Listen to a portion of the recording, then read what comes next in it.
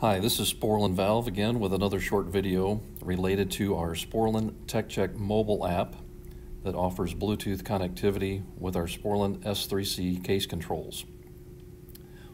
Once you have registered for the S3C access and you have the TechCheck app on your device, tap on that icon.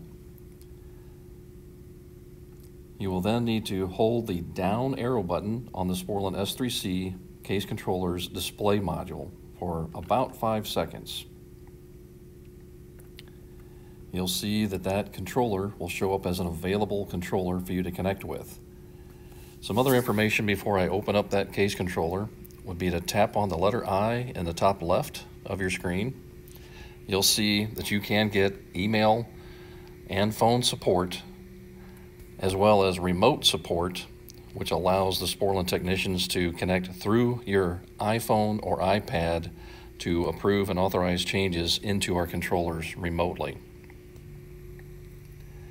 Going back to the controller that's now connected, tap on that available controller. It will open up and begin displaying temperatures, pressures, and the other information you see on the screen now. To check alarm conditions, if there are any, uh, you'll have the bell icon in the top right of your screen. Tap on that and you can choose active alarms. You see this particular controller has no current alarms. You can go back to case in the top left to return to the main screen other options that you can do with our TechCheck app would be to use the three dot symbol in the upper left, tap on that, and choose Parameters.